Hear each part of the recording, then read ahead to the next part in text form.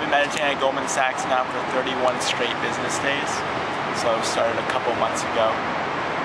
And I'm here to show compassion for the employees at Goldman Sachs and the institution of Goldman Sachs and demand that they do the same for the billions of people affected by their practices.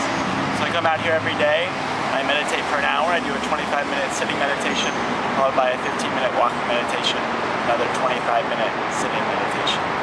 And the goal is really to sit with the practices that Goldman Sachs does. So as a large mega investment bank, Goldman Sachs' practices led directly to the recession that took place in 2008.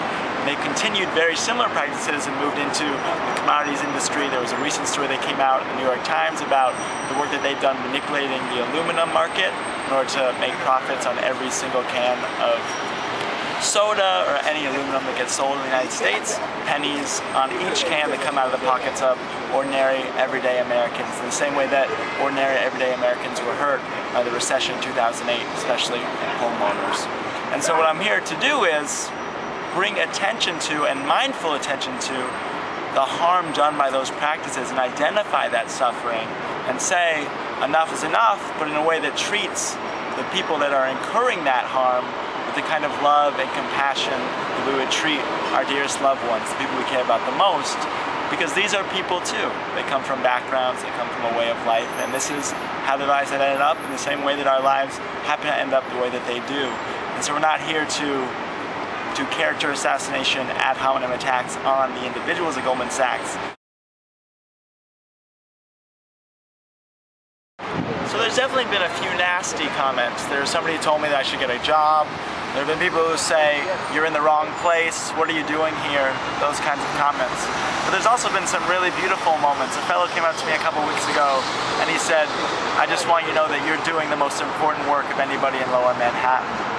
And today, for instance, a woman offered me a cold soda because it's a hot day in New York City. So those kind of moments are really beautiful and really awesome. Um, and, and I've even gotten contact anonymously from security guards here at Goldman Sachs. I received an email that I list on a little sheet that I hand out here from a security guard anonymously who said, listen, we really support the work that you're doing. We really think that you're doing something special here. Um, of course, we can't say it publicly and we can't give you our name, but we just want you to know that we support you. So there hasn't been any kind of magically profound moment of a Goldman Sachs banker confessing their deepest sins or speaking about their conscience and how torn they've been. But there have certainly been a few really beautiful moments of people really standing in solidarity with me and encouraging me to keep up this effort. Yeah, so I think what people can do most effectively and most helpfully is come out and meditate with me. I hold group meditations on Wednesdays, Thursdays, and Fridays of every week that take place either at 1 p.m. or at 9 a.m. depending on my work schedule because I also work at a restaurant in Brooklyn. Besides that, folks can go to our website. We have a website at buddhaonstrike.org and a Twitter at buddhaonstrike.